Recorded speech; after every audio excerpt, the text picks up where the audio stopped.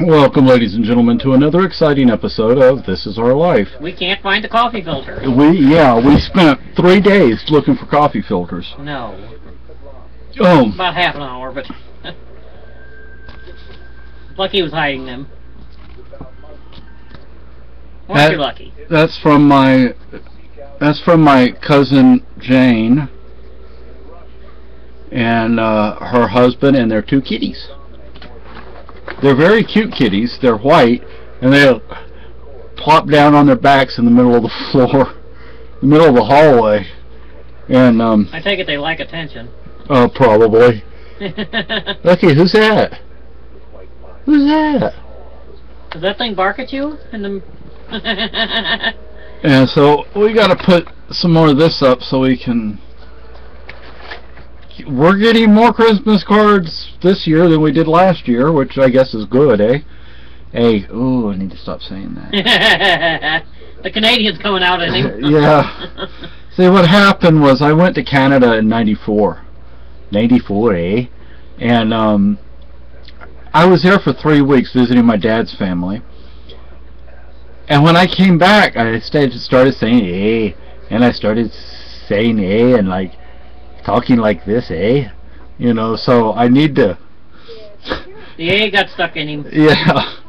And uh, my, cousin, uh, his ship, the ship that he was on at the time, he's on a different ship now. Uh, their um, their little slogan or whatever is AA. So, you know, Well, just as long as it's not the AA that I think of. Yeah. uh, that would be bad on the ship. Running the ship. Yeah. Uh, but anyway, what I was going to say was, it is Cordoba, not Cordova. I don't know if you can. It's hard for me to understand the difference of V and B sometimes, because of my hearing loss. But it's with a B, not a V. Cordoba. El Cordoba. Uh, the Cordoban, the man from Cordoba, Cordoba. It's not Cordova, it's Cordoba. Ah, B. like the sheep. Yeah, so it just so irks me when I hear people say Cordova. They just had this on what is it, History It's a Channel? History Channel thing.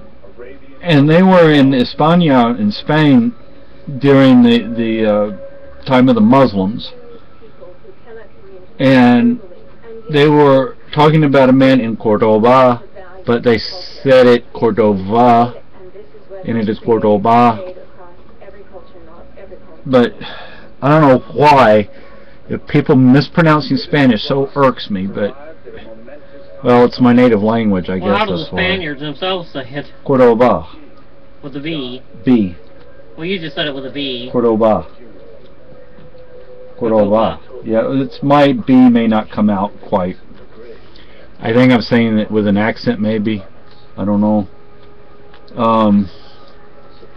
Oh, this is fascinating right here. The Celts in China.